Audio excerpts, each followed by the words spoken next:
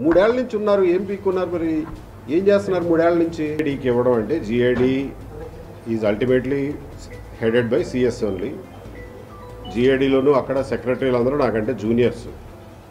So civil services సంప్రదాయం ప్రకారం ఎప్పుడు జూనియర్కి రిపోర్ట్ చేయరు. ఎవరైనా సీనియర్కే రిపోర్ట్ చేస్తారు.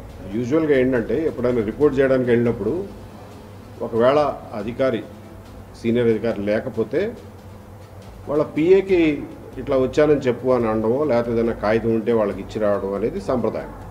అందులో తప్పేమీ లేదు. కానీ ఆయన సిఎస్ గారు ఆఫీస్లో ఉండి కూడా కాగితం తీసుకొని పంపించేయండి అని అన్నారు. అక్కడికి అడిగాను పిఏని రేపు పొద్దున రమ్మంటే రేపు పొద్దున వస్తానండి. ఆయన పోనీ బిజీగా ఉన్నారంటే రేపు పొద్దున టైం ఇస్తే ఆ టైంకే వచ్చి రిపోర్ట్ చేస్తాను అంటే లేదండి కాగితం ఇచ్చి వెళ్ళిపోమన్నారు. అంటే ఆయన కలవడం ఇష్టం లేదు అని అర్థమైంది. It's okay.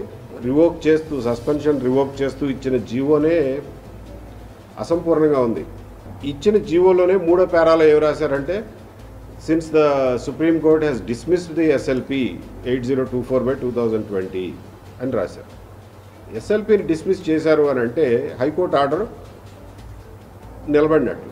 హైకోర్టు ఏం చెప్పింది? అసలు సస్పెన్షనే చట్టవిరుద్ధం. సెటిసైడ్ ఇమీడియట్గా రిస్టోర్ చేయండి.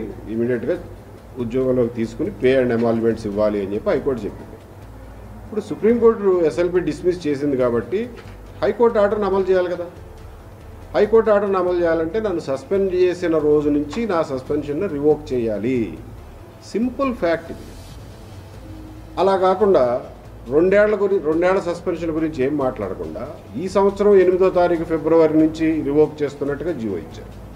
మరి చదువుకోలేదా? లేకపోతే లీగల్ ఒపీనియన్ అలా వచ్చిందా? తెలియదు అది పాయింట్అవుట్ చేద్దామని ఆయన కలుద్దాం అనుకున్నాను బాబు ఇది అసంపూర్ణంగా ఉంది మీరు ఇచ్చిన ఆర్డరు. దీన్ని సరిచేస్తే సరిచేయండి లేకపోతే నేను మళ్ళా కోర్టుకు పోవాలి.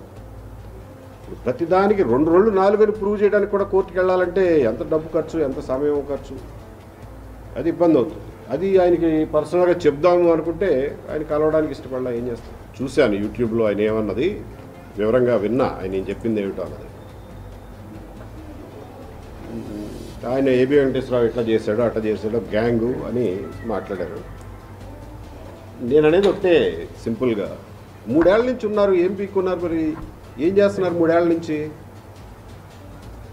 మీరు కుర్చీలో కూర్చున్నాక పద్దెనిమిది నెలలకి వన్ అండ్ హాఫ్ ఇయర్స్కి సుప్రీంకోర్టు చెప్తే ఒక ఛార్జ్షీట్ ఇచ్చారు. మరి ఆ ఛార్జ్షీట్లు ఇవేమైనా ఉన్నాయా? ఏమి లేవు. ఆ ఛార్జ్షీట్ ఇచ్చి ఇప్పటికి మళ్ళీ ఇంకొక సంవత్సరన్నర అయింది. ఇప్పుడు ఈ సంవత్సరన్నరలో కొన్ని ఏమన్నా తేల్చారా? నువ్వు ఫలాంది చేసావురా నువ్వు ఫలాంది తప్పులు చేసావని. అది లేదు. అది ఏదో అని ఉంటే తేల్చండి.